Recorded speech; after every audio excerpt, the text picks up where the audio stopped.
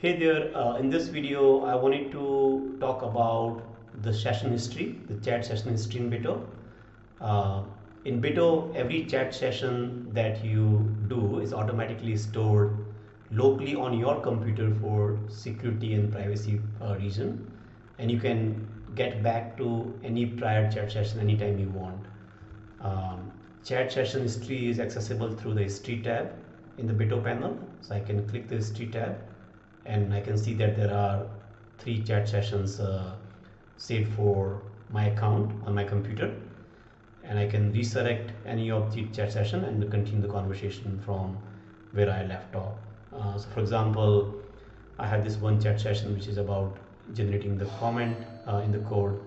So I can uh, resurrect this chat session and uh, you know for example I want to convert this comment into a new language uh, so I say convert this in the comment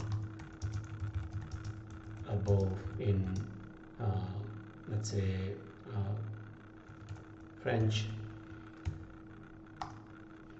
so it will remember the context of this particular chat session and it will automatically send that context along with the new command to the AI models uh, to get the new output.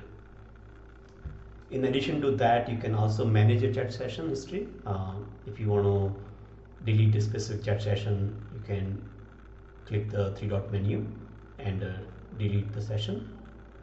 Or if you want to share, uh, share a chat session with your colleague, you can get a permalink uh, by clicking the share and the copy link uh, action there and uh, share that link with your colleagues and uh, they will be able to see the chat session the way you execute it.